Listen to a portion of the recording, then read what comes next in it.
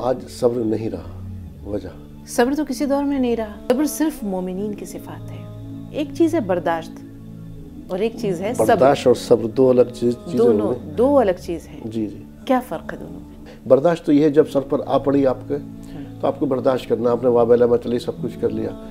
और एक ये है जैसे कोई बात आपके मुसीबत कोई आई आपने सीधा अल्लाह का शुक्रिया अल्लाह की तरफ़ से मेरे पास खामोशी। खामोशी। बिना कोई शिकवे। हाँ, जब सब्र का दामन छूटने लगे एक मोमिन सब्र का दामन कैसे छोड़ सकता है?